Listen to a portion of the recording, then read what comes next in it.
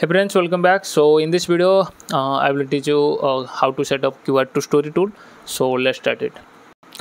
So here uh, everything uh, looks like same as a link to story. Uh, so just uh, a different that is you need to enter a keyword so for example if i enter a particular keyword virat kohli. Okay and set set this up like you set uh, like you set link to story tool. So same let me quick set up it. Okay text background color is black. Opacity background opacity is 100 percent solid by default by default. Everything i am uh, keeping it as by default. You can also select uh, ai or chat gpt but it takes a little bit time so it's all depends on you.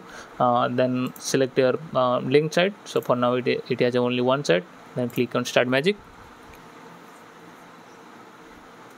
Okay. So as you can see also you can continue scrapping. That means you can uh, again set it up for another keyword. Okay so let me tell you a little bit more about this uh, keyword to story tool. Uh, in the keyword to story uh, tool uh, the ai uh, uh, finds a particular valid web story from the search engines and scraps it and then uploads to your website so that's the method. So you may be not able to get any particular um, storage for any particular keywords if there are not available any stories on the google search engines okay? So i think that makes a sense. And also um, uh, so for now uh, let's uh, check out this particular keyword Virat Kohli so for now uh, the, to check this actual status of the scrapping you need to go back to your WordPress and media library.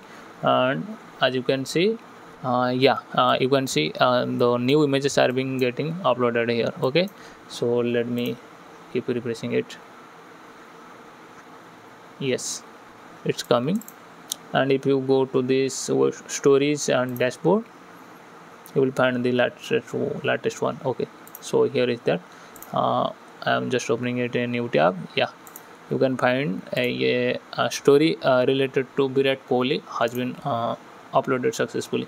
So that's uh, all uh, about this keyword to story uh, tool in the next video i will teach you how to set up the post to story tool